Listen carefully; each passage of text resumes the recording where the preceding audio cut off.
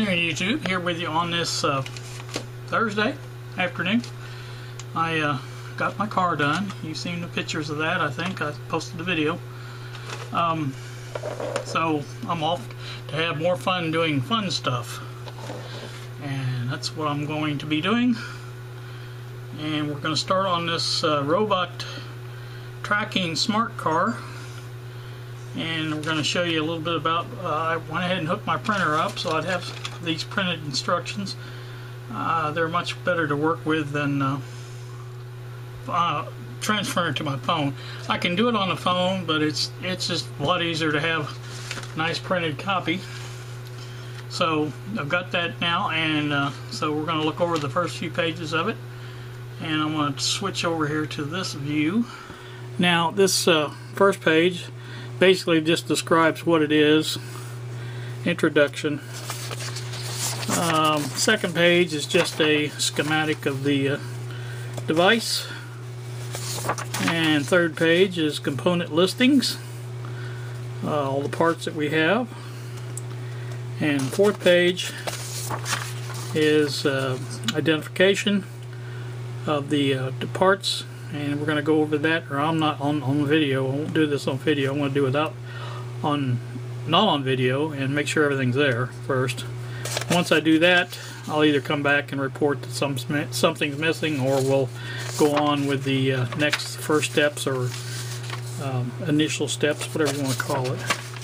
So it gets down to this part right here and that's where we start. So let me uh, make sure everything is here and we'll come back Hey, back after the uh, parts check. It checked out just fine. Everything is there and present and accounted for. So what we're going to do here next is begin with the first step, which is install circuit. 1.1 uh, is install metal film install metal film resistor dip 8P IC socket self-locking switch, potentiometer S8550 electrolytic capacitor, um, 5 millimeter red, and on PC board, according to mark on PC board. Pay attention to the direction of the IC socket, wrong direction of installation as pictured. Um, so I'm not really sure what, that means. Um, well, okay, on the next page we see the wrong direction. Uh, I'm guessing there's a difference uh, how that goes, so let's see if we can look at the uh, board here. Tell anything. Well, there, there's the uh, the uh, notch, so I'm sure that's the way we're supposed to install it. I would think. Maybe not maybe there was a mistake at the uh, on the silk screening. So let's check it out see what we got here. I think we're gonna go ahead and install it like it should be. And if nothing you know if it works it works. If it don't then we can just turn the IC around. That's a pretty good indication of how we should do this I think. Alright let me turn this off and we'll bring you back in just a minute after I get complete that first step Hey, we got this far. I have the uh, did the first. believe it or not, the first step is pretty much the whole installation. Uh, I did do the uh, next step, which was uh, install this bolt, and I guess this is a caster. Supposedly, it's a cap nut, but got that installed, and then I went ahead and put the photoresistor and the uh, LEDs in for the uh, bottom side I think I got it pretty much where they wanted. It said 5 millimeter. I measured that with my tape measure. It measured about 5 millimeters, so I'm hoping that's about to where they're supposed to be. I think they're adjustable a little bit, but not, not a lot. But uh, like I say, now I've run into a problem. This step here, um, this is the uh, battery. First off, I want to show you the uh, spring placement is backwards on this because there's no way you can you can match that uh, at all so anyway that's not a big deal though um, the problem I see is uh, there's only one wire on here. And I don't know if it was lost in shipping or what, but uh, there's supposed to be two because they're supposed to wrap around the backside and come in here where the uh, plus and minus is marked right there on the board. So, alright, well I have the uh, battery hooked up and uh, the test here is to let's read this together. Install two pieces AA battery. Did that. Press the on switch if two pieces of white LED on installation is successful. Please check the welding. Uh, please check the welding. Pay attention to the direction of the LED and other components. Uncheck pseudo pseudo soldering. All right. Uh, if if if the let's see the installation is successful if LED off. So press the switch, LED on. The installation is successful. If LED off, please check welding. Okay, here's the deal. Now I would have thought, it's my thought about this, that when you press the switch down, that is on. But if you press it that way, it seems to be on. Now if I press it again, it goes off. So I'm going to consider that a success because the fact that you can switch it on and off obviously works. So it's just I don't know which is which on this switch. That looks to me like that should be off and that should be on. But you know, again, I don't know uh, how it's really supposed to be. So the best I can do is what it says. So that's that's what I'm going with. So it says next to install the four gaskets on the circuit board. The role of the gaskets to increase the gap between the axle and the circuit board so that the gear mounted on the shaft has enough rotational space. Alright, back once more. Have all four of those installed. You can see, think you can see, one, two, three, four, right there.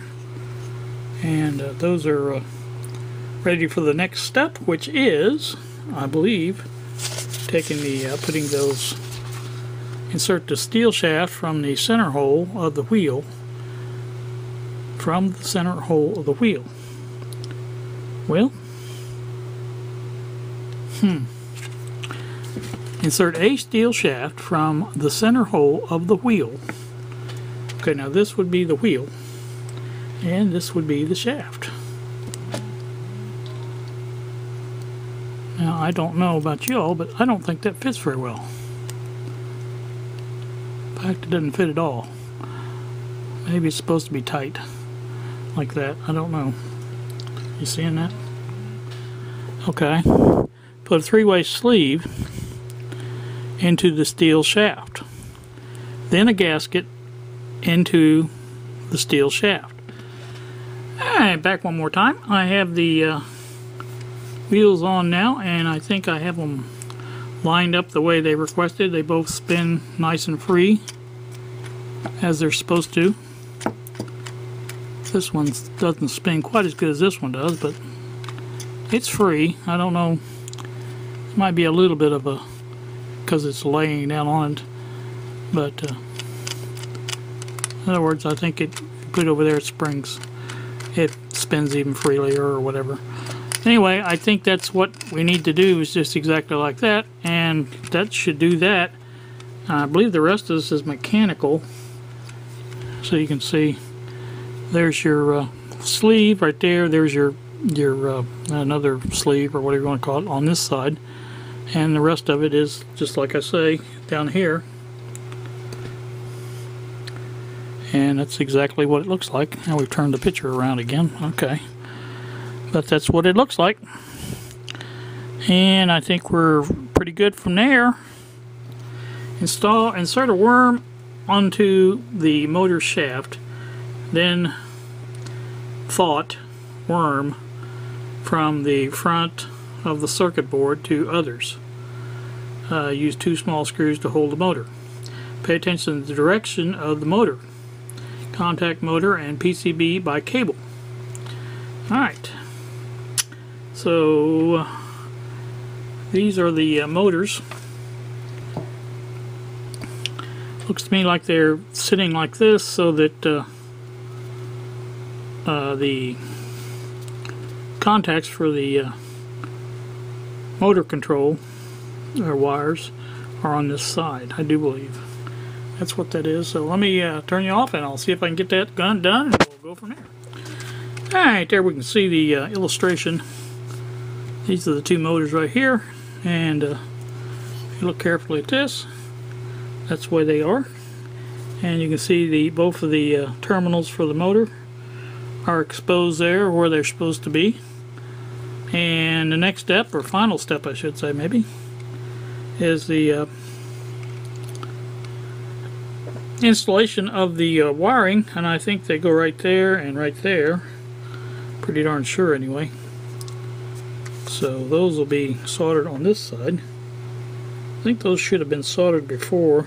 I guess I can get them in there. It's not a big deal but you know. I think I've got these pretty even. This one's down a little bit further than that one so I can I can take and move that down a little bit if I need to I think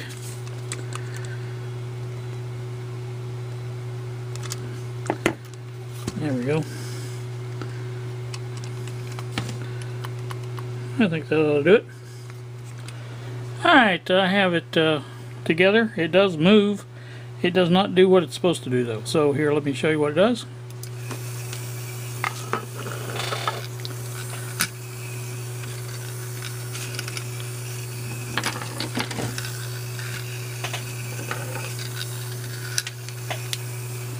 So, got something wrong. Not sure what. Uh, that will be round two. um, don't know why exactly. Um, I didn't really see anything. Uh, it does work though. Like I said, you can turn it on. It rolls. Now I don't know that it's supposed to go. I guess it is. Uh, I'm, I'm thinking maybe these uh, potentiometers have something to do with something. Um, obviously they're there for a reason to adjust so like I said it uh, it does not follow the track like it's supposed to. Um, I don't know uh,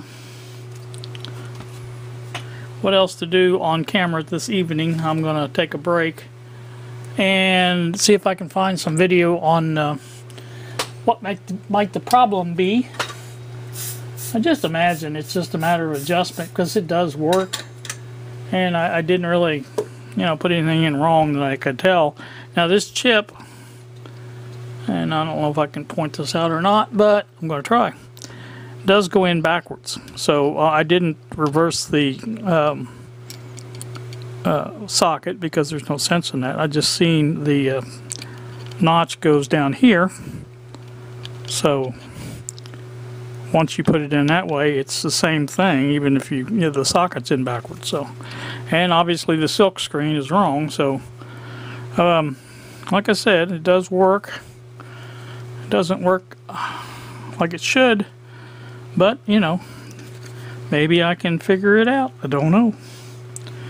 Not crazy about the wires where the wires fit but they don't have anything to do with it. This another thing could be this uh, I may have these in too too high. Uh, I noticed on the uh, it, it tells you to put them five millimeters down from the top of the cap nut and I think these are five millimeter close to it but I think those are up a little high so um, I may have to move those down but that's not a problem just heat them up and push them down that's all you got to do so I will uh, do some uh, well you know some troubleshooting and see what we can find out. So that's about going to do it for this uh, video. Um, I was going to add some pictures of the car for Bill. I don't know that I'm going to yet. I haven't decided. I guess I could go back outside and take a couple pictures with the camera, with the phone, uh, or even maybe just a, a short video. So let me do that and uh, I'll add that to this video and then uh, I'll call it quits so stay tuned for that Alright Bill you can see up on top how the paint's peeling. I hope you can see that anyway. I'll, maybe I'll take it from the other side. Might be able to see a little bit better from the other side, I don't know. Of course, you've seen the hood. Now the sides, that doesn't seem to happen to the sides. This did down here a little bit. It goes around through there, as you can see. And up the side of this. That's all flaking off. So, and there's another look at the top. And the back end of the trunk is also flaking off. So yeah, it's uh, a lot worse than you would think. So I, I say the hood kind of matches the rest of the car now. And uh, I guess that's not a bad thing. Same thing on this fender over here, just the top section. Now the uh, upright doesn't uh, seem to be too bad. Again, the sides, they look fine. So that's the way it looks. Take another picture of the top from this side, maybe you can see better. It's pretty well flaking off. Now I have been told that you can take and spray clear coat over the top of this and it will look alright.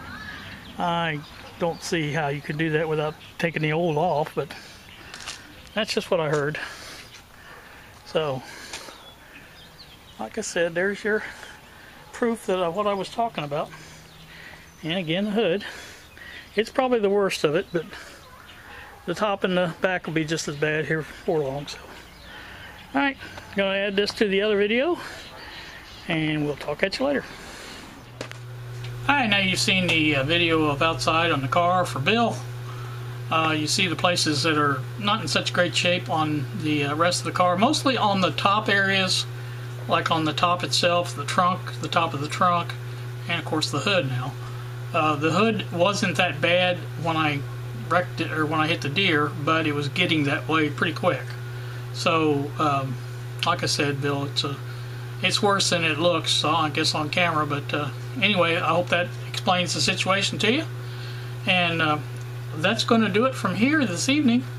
Um, going to work on that uh, kit some more and see if I can figure out maybe what the problem is. Maybe there's some videos online of other people's had the problems with it. And we'll hope that's the case, and uh, that way it'd be easier to troubleshoot. So, alright, gonna do it. That's gonna do it. Uh, you guys have a wonderful evening. Thanks so much for watching, and we will see you. That's all, folks.